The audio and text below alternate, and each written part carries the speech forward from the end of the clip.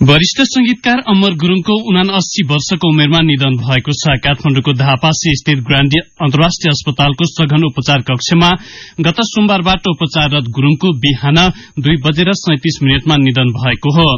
भारतमा आन्द्रा सम्बन्धी रोग मधुमेह उच्च रक्तचाप र पार्किन्सस रोगको लामो उपचारपछि नेपाल फर्किएका गुरूङलाई खानेकुरा खादा बान्ता हुने समस्या देखिएपछि अस्पताल भर्ना गरिएको थियो। पछिल्लो समय एक्सपिरेशन न्यूमोनिया पेट तथा अन्न नलीको रक्तस्राव मधुमेह र उच्च रक्तचाप लगायतका रोगसँग लड़िरहेका गुरूङलाई श्वास प्रश्वासमा समस्या देखिएको अस्पतालका मेडिकल डाइरेक्टर डाक्टर चक्रराज पाण्डेले जानकारी दिनुभयो। सन् उन्नाइस सय अडतीस फेब्रुअरी छब्बीसमा भारतको दार्जीलिङमा जन्मिनु भएका गुरूङ नेपाली राष्ट्रिय गानका संगीतकार एवं संगीत तथा नाट्य प्रज्ञा प्रतिष्ठानका प्रथम कुलपति हुनुहुन्थ्यो।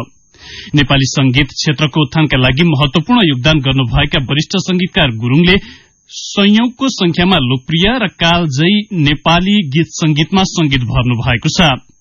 गोर्खा जिल्लाको रिसिङ पुर्ख्यौली घर भएका गुरूङ विक्रमसम्म दुई हजार बाहन्न सालमा नेपाल प्रज्ञा प्रतिष्ठानको निर्देशक रहनु भएको थियो।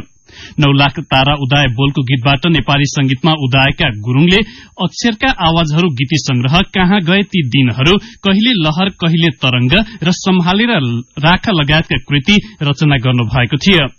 संगीतको साधनामा पाँच दशकदेखि लागि परेका गुरूङलाई नेपाली कला र संस्कृतिको उत्थान गरेको भन्दै दुई हजार चौवन्न सालको जगदम्बा स्त्री पुरस्कारबाट सम्मान गरिएको थियो। उहाँलाई दुई हजार अठाइस सालमा गोर्खा दक्षिण बाउ चौथो दुई हजार अडतीस सालमा इन्द्र राज्य लक्ष्मी पुरस्कार दुई हजार सडचालिस सालमा छिन्नलता गीत पुरस्कारबाट सम्मान गरिएको थियो। उहाँका तीन छोरा र एक छोरी छन्।